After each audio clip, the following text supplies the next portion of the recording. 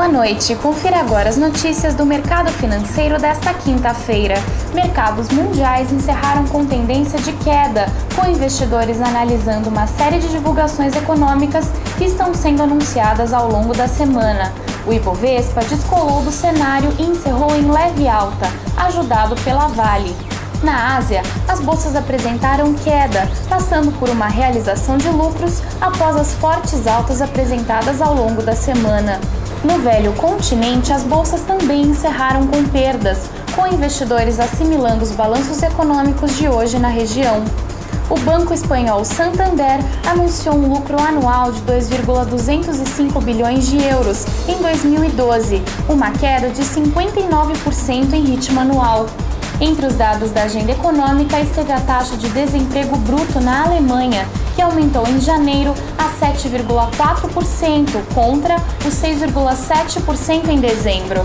Em Wall Street, os mercados operam de lado após a divulgação da agenda econômica e balanços corporativos. Por lá, foi divulgado que os pedidos iniciais de auxílio-desemprego aumentaram em 38 mil na semana encerrada em 26 de janeiro. O número total de pedidos subiu para 368 mil. Já a atividade econômica na região de Chicago continuou crescendo.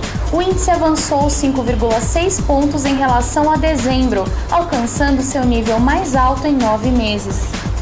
O Ibovespa encerrou em leve alta de 0,72% após um pregão volátil, ajudado pela valorização nos papéis da Vale.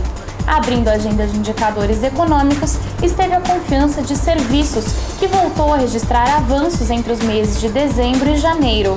O índice registrou uma alta de 1,1%, ao passar de 123,3 pontos para 124,6 pontos. Já a taxa de desemprego recuou em dezembro.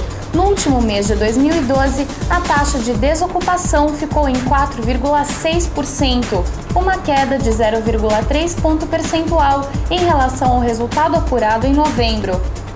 Por outro lado, os brasileiros estão menos otimistas. O Índice Nacional de Expectativa do Consumidor caiu 0,9% em janeiro, na comparação com dezembro de 2012. Na renda fixa, os juros futuros encerraram em alta. O contrato de depósito interfinanceiro, com vencimento em janeiro de 2015, o mais negociado, apresentou taxa anual de 7,94%. Já o dólar encerrou em queda de 0,05%, com a moeda vendida a R$ 1,988. Voltamos amanhã com mais informações. Investimentos e Notícias, o seu portal interativo de economia.